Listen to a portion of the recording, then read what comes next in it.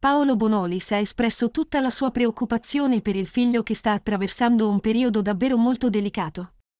Vi diamo il benvenuto nel cuore pulsante di Top News 24. Prima di svelare gli eventi di oggi, desideriamo chiedere il vostro prezioso sostegno.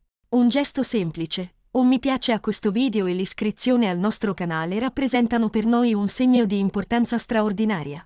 Vi ringraziamo di cuore. Davide Bonolis, figlio di Paolo Bonolis e Sonia Bruganelli, ha deciso per la prima volta di condividere pubblicamente un periodo difficile della sua vita.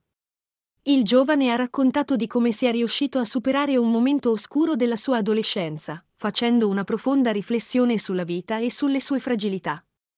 Ha spiegato di essere in terapia con una psicologa per affrontare traumi e disagi che gli hanno causato ansia e insicurezza. In particolare, ha ricordato un episodio chiave. A 11 anni, dopo aver contratto la mononucleosi, fu costretto a lasciare il calcio per sei mesi, il che lo portò a prendere peso e a chiudersi in se stesso. Questo periodo lo fece rifugiare nel cibo per cercare conforto. Tuttavia, la morte del nonno, che lo sosteneva, fu l'evento che scatenò in lui una svolta.